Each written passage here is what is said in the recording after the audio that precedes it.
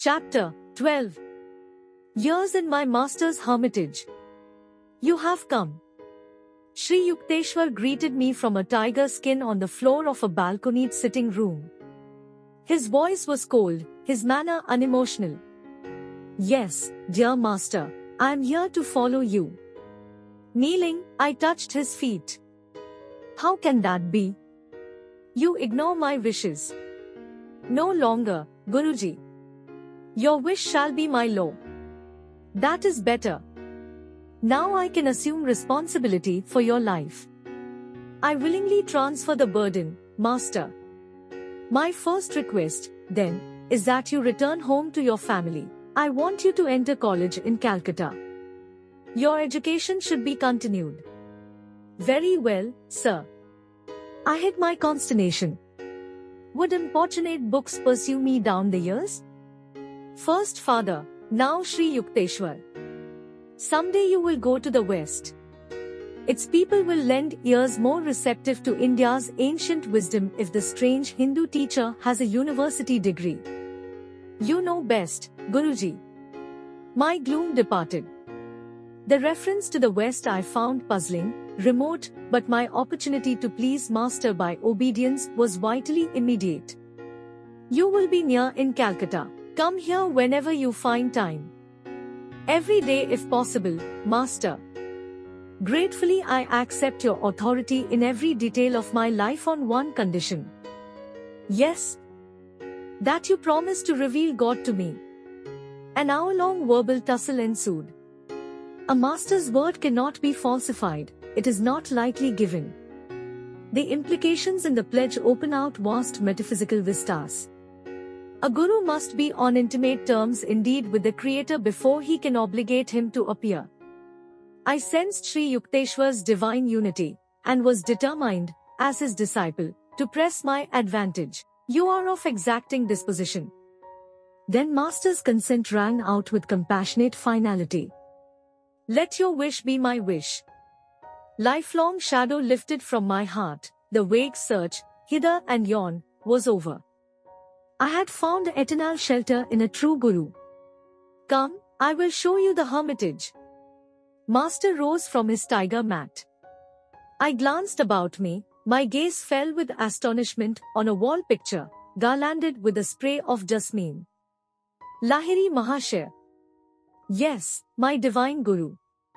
Sri Yukteswar's tone was reverently vibrant.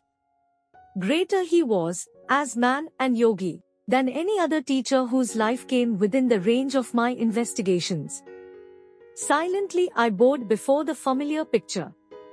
Soul homage sped to the peerless master who, blessing my infancy, had guided my steps to this hour. Led by my guru, I strolled over the house and its grounds. Large, ancient and well-built, the hermitage was surrounded by a massive pillared courtyard. Outer walls were moss-covered, pigeons fluttered over the flat grey roof, unceremoniously sharing the ashram quarters. A rear garden was pleasant with jackfruit, mango, and plantain trees. Balustrade balconies of upper rooms in the two-storied building faced the courtyard from three sides. A spacious ground floor hall, with high ceilings supported by colonnades, was used, Master said, chiefly during the annual festivities of Durga Puja. A narrow stairway led to Sri Yukteswar's sitting room, whose small balcony overlooked the street. The ashram was plainly furnished, everything was simple, clean, and utilitarian. Several Western-style chairs, benches, and tables were in evidence. Master invited me to stay overnight. A supper of vegetable curry was served by two young disciples who were receiving hermitage training. Guruji, please tell me something of your life. I was squatting on a straw mat near his tiger skin. The friendly stars were very close, it seemed, beyond the balcony. My family name was Priya Nath Karar. I was born here in Serampore, where father was a wealthy businessman. He left me this ancestral mansion, now my hermitage. My formal schooling was little, I found it slow and shallow. In early manhood, I undertook the responsibilities of a householder and have one daughter, now married. My middle life was blessed with the guidance of Lahiri Mahashaya. After my wife died, I joined the Swami order and received the new name of Sri Yukteswar Giri. Such are my simple annals. Master smiled at my eager face.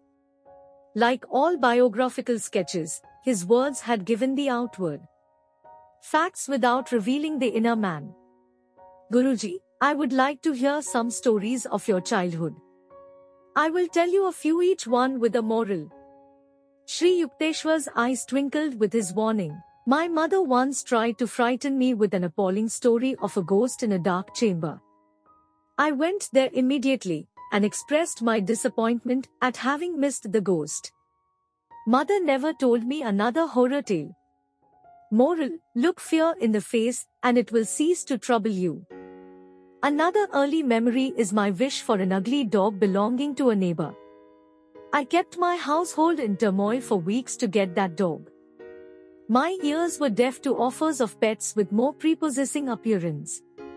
Moral, attachment is blinding. It lends an imaginary halo of attractiveness to the object of desire.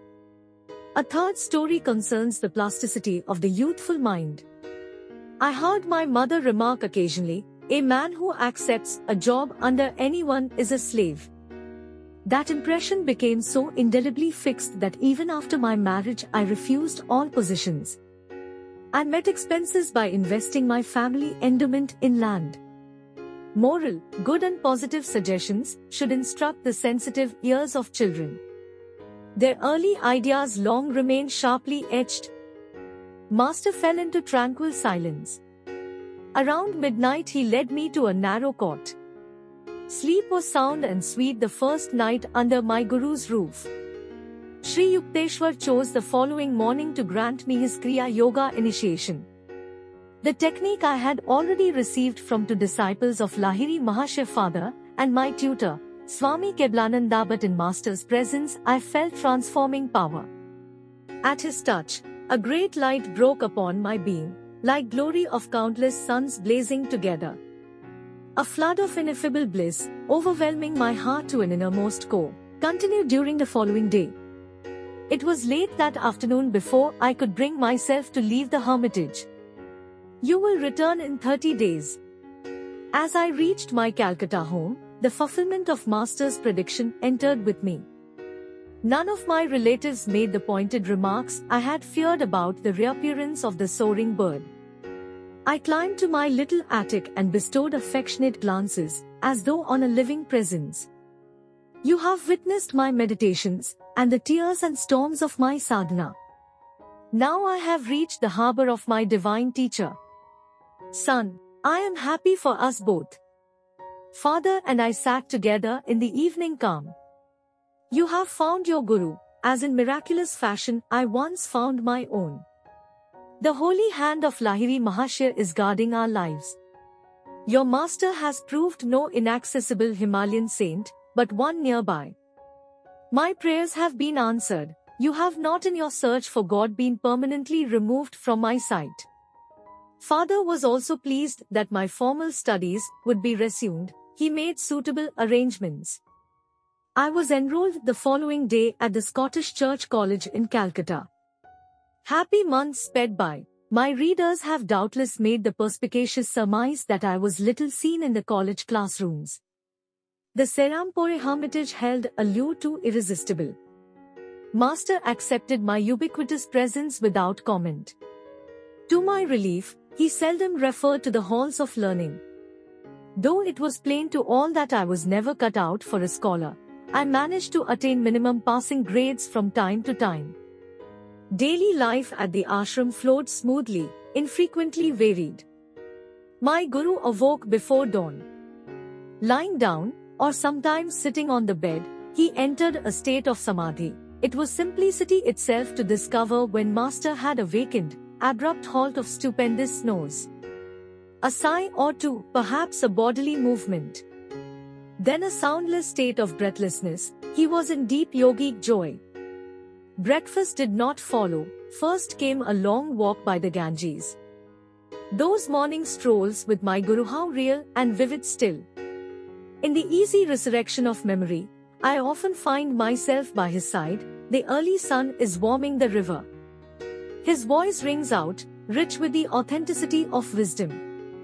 A bath, then the midday meal. Its preparation, according to Master's daily directions, had been the careful task of young disciples. My Guru was a vegetarian. Before embracing monkhood, however, he had eaten eggs and fish. His advice to students was to follow any simple diet which proved suited to one's constitution. Master ate little, often rice, colored with turmeric or juice of beets or spinach and lightly sprinkled with buffalo ghee or melted butter. Another day he might have lentil dal or channa curry with vegetables. For dessert, mangoes or oranges with rice pudding or jackfruit juice, visitors appeared in the afternoons. A steady stream poured from the world into the hermitage tranquility. Everyone found in Master an equal courtesy and kindness. To a man who has realized himself as a soul, not the body or the ego, the rest of humanity assumes a striking similarity of aspect. The impartiality of saints is rooted in wisdom. Masters have escaped Maya, its alternating faces of intellect, and Idiocy no longer cast an influential glance. Sri Yukteswar showed no special consideration to those who happened to be powerful or accomplished. Neither did he slight others for their poverty or illiteracy.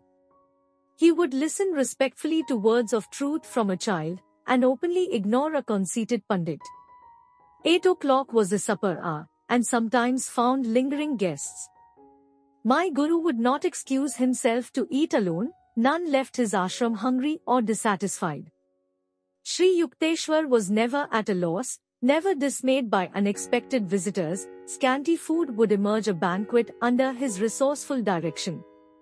Yet he was economical, his modest funds went far. Be comfortable within your purse, he often said. Sir, have you not been single-heartedly seeking God for a long time? I have not done much. Bihari must have told you something of my life. For 20 years I occupied a secret grotto, meditating 18 hours a day. Then I moved to a more inaccessible cave and remained there for 25 years, entering the yoga union for 20 hours daily. I did not need sleep, for I was ever with God. My body was more rested in the complete calmness of the superconsciousness than it could be by the partial peace of the ordinary subconscious state. The muscles relax during sleep, but the heart, lungs, and circulatory system are constantly at work, they get no rest. In superconsciousness, the internal organs remain in a state of suspended animation, electrified by the cosmic energy. By such means I have found it unnecessary to sleep for years. The time will come when you too will dispense with sleep. My goodness, you have meditated for so long and yet are unsure of the Lord's favor. I gazed at him in astonishment. Then what about us poor mortals? Well, don't you see, my dear boy, that God is eternity itself, to assume that one can fully know him by 45 years of meditation is rather a preposterous expectation. Babaji assures us, however, that even a little meditation saves one from the dire fear of death and after-death states. Do not fix your spiritual ideal on a small mountain, but hitch it to the star of unqualified divine attainment. If you work hard, you will get there. Enthralled by the prospect, I asked him for further enlightening words.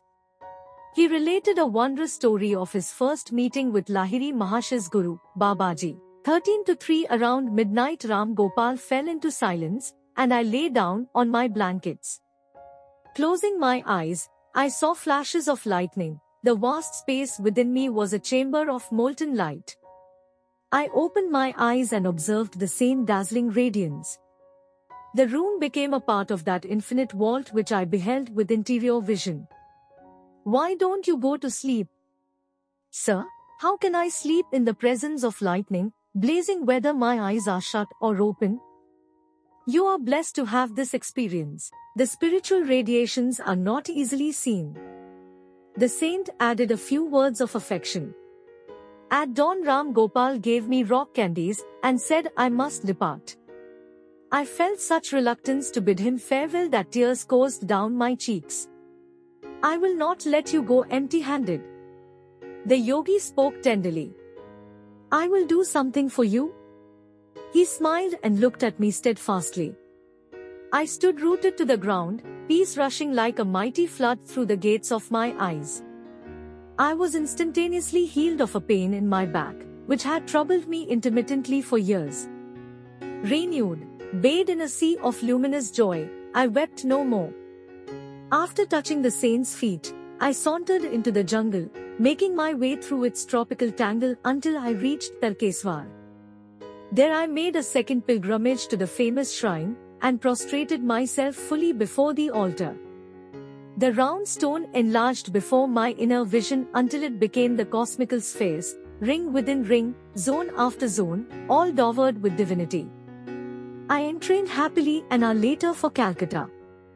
My travels ended, not in the lofty mountains, but in the Himalayan presence of my master.